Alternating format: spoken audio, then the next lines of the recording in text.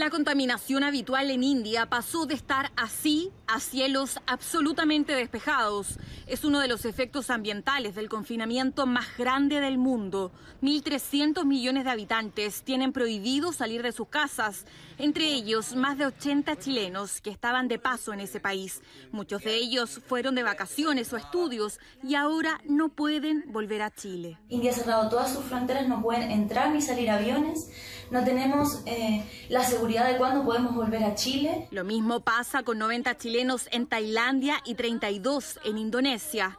Cancillería anunció un plan especial de apoyo para chilenos varados de escasos recursos. Se financiará con fondos de ayuda a chilenos en el exterior que apoya a connacionales en casos humanitarios. Personas que están en lugares tan distantes, les pedimos por favor que se contacten con los consulados generales, los que han recibido eh, instrucciones precisas para quienes, aquellos chilenos que carecen de fondos, ellos carecen de familiares que pueden ayudarlos para que les podamos entregar tanto alojamiento como alimentación, más asistencia médica. En Cancillería explican que este plan surge porque las posibilidades de retorno son cada día más difíciles y en algunos países prácticamente nulas.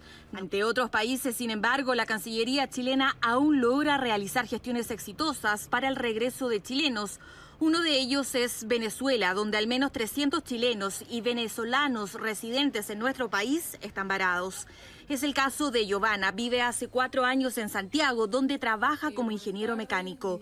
Viajó por primera vez en este tiempo a visitar a su familia y ahora no puede volver. Muchos de nosotros tenemos miedo de perder nuestro trabajo, otros tienen familiares eh, en Chile que los esperan. Este viernes viajará un avión Copa desde Caracas a Santiago con capacidad para 180 personas. El vuelo partirá desde Bogotá, donde el presidente Iván Duque facilitó esta operación humanitaria. Sin embargo, el consulado chileno en Caracas trata de ayudar ante otros problemas que van surgiendo para el traslado. No hay gasolina y no hay manera de cómo trasladarse entre estados y entre ciudades para poder lograr llegar al aeropuerto de Maiquetía que es donde se supone que van a partir los vuelos humanitarios. Próximamente llegarán vuelos de Australia y Argentina con más chilenos varados que se calculan que suman unos 1.500.